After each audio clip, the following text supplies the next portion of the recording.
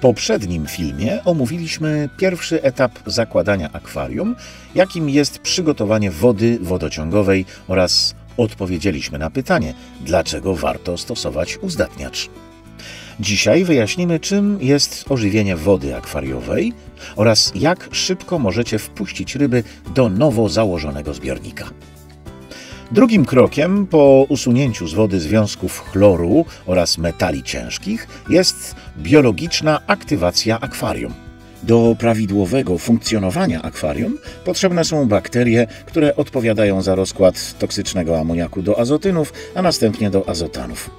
Proces ten zachodzi na wkładach filtracyjnych i jest nazywany nitryfikacją. W naturalnych, niewspomaganych warunkach nowego akwarium proces namnażania się bakterii odpowiedzialnych za skuteczną nitryfikację trwa nawet do dwóch tygodni. Tyle też musielibyśmy poczekać z wpuszczeniem ryb do akwarium.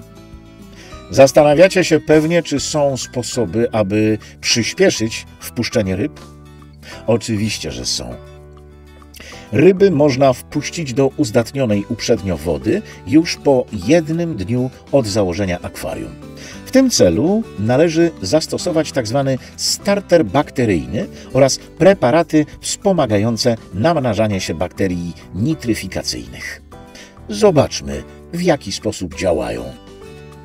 Starter bakteryjny Safe Start zawiera żywe bakterie nitryfikacyjne w stanie uśpienia, które po dolaniu do wody są natychmiast gotowe do pracy, czyli nitryfikacji. Nie trzeba więc czekać, aż ich liczba będzie stopniowo rosnąć.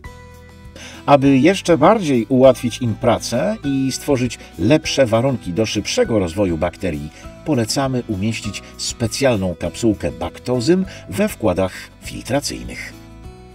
Zawiera ona enzymy, zarodniki bakterii Bacillus oraz substancje kleiste, które powlekają wkład filtra niewidoczną warstwą, wspomagającą rozwój kolonii pożytecznych bakterii filtracyjnych.